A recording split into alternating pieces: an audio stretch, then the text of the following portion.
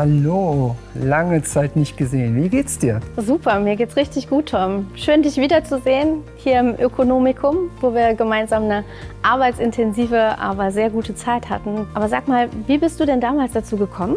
Ich hatte ein ganz bestimmtes Ziel vor Augen, meinen beruflichen Aufstieg. Und nach vielen Recherchen war mir klar, dass der einzig richtige Weg dafür ein MBA-Abschluss ist. Und zwar an der renommierten und international anerkannten Business School in Düsseldorf. Moment, als ich das erste Mal das Gebäude des Ökonomikums betrat, hat mich von der ersten Sekunde an begeistert. Die moderne Architektur, die Wirkung des Foyers. Ich fühlte gleich, dass hier ein ganz besonderer Spirit herrscht. Zeitlich flexible Vorlesungen in den Abendstunden, ein sehr kompetentes Team aus Dozenten und Professoren sowie moderne Lehr- und Lehrmethoden waren weitere wichtige Punkte. Aber vor allem die Unterstützung durch Professor Börner und Herr Grütering hat mir sehr geholfen.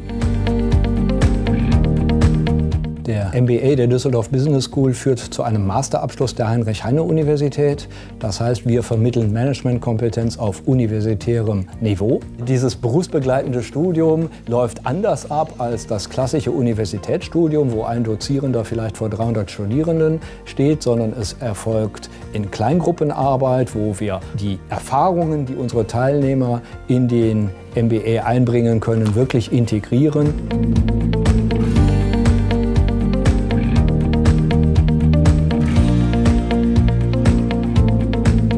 Die Unternehmerschaft Düsseldorf hat sich gerne bereit erklärt, seinerzeit sich als Gesellschafter an der Düsseldorfer Business School zu beteiligen. Warum?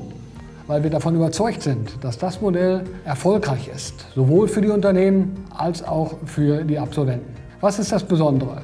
Die Düsseldorfer Business School schafft es, durch die enge Beziehung zu den Unternehmen hier in der Stadt, Praxis und Theorie hervorragend miteinander zu verknüpfen.